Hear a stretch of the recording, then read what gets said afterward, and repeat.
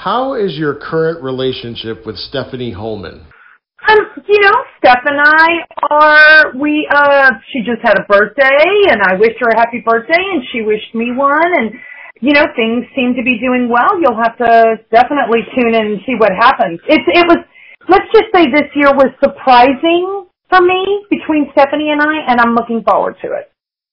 Now, can you tell us something about your castmates that no one knows? Uh, they're all insane clinically, but no one has actually um, just diagnosed us yet. I think this season, every single cast member is going to surprise you, and I love that because it's nice not to be the only, you know, crazy one in the bunch. Which housewife is your favorite? Um, you know, in New York, I love the no nonsense of Bethenny. I I, I would love to see Bethenny come down to Dallas and just be like, and this is who each of you are, including me, because I can take it. Now, have you had any plastic surgery to date? Hell to the yes. Yeah, Yeah. I think I'm on my third or fourth breast reduction. Yeah. Listen, God can be generous. Sometimes too much. Would you ever consider Dancing with the Stars?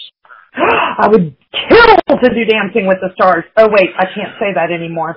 Um, I uh, I get in trouble when I threaten to kill things. Um, I would love to do Dancing with the Stars. Dancing is not necessarily my strong suit, so I think it would be such a fun challenge to really learn and to be. I love I love to be competitive, so for me that would be something I'd be highly interested in. Hey guys, this is LeeAnne Locken from the Real Housewives of Dallas, and you're listening to the Domenick Nati Show.